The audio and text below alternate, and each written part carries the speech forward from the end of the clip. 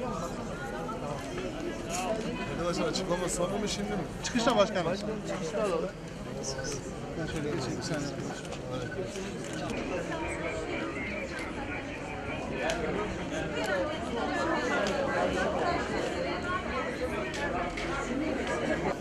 Vıt vıt vıt vıt. Şişirdin vallahi.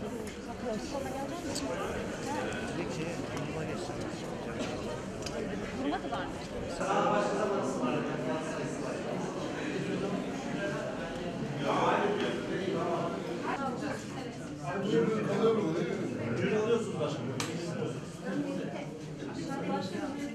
Arkadaşlar plan tutuyorsanız bekleyen varsa gelebilir. Başkanım. Başkanım. Başkanım böyle alabilir miyim?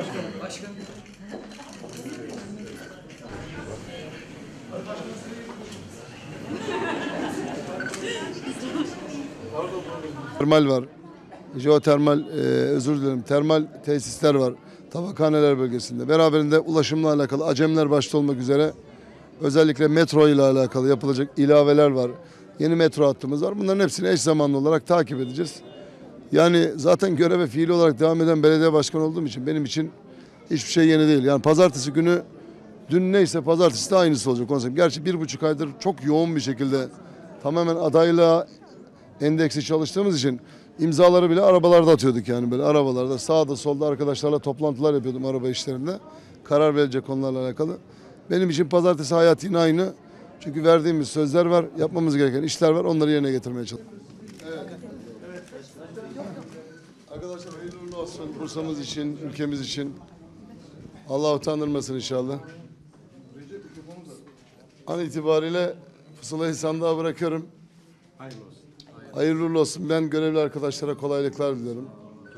İnşallah 5 yıl Bursa'mızı, Bursa'mızın ilçelerini, ülkemizin tüm beldelerini yönetecek olan belediye başkanlarımız, belediye meclis üyelerimiz belirlenecek. Öncelikle ben hayırlı uğurlu olmasını temenni ediyorum. Güzel bir havada, sakin bir ortamda eee, oy verme işlemleri devam ediyor. Temennimiz son dakikaya kadar sorunsuz, sıkıntısız bir şekilde devam etmesi ve inşallah herkes iradesini sandığa yansıtacak ve nihayetinde de şehrimizi, ülkemize ki beldeleri yönetecek olan belediye başkanlarımız, meclis üyelerimiz seçilecek.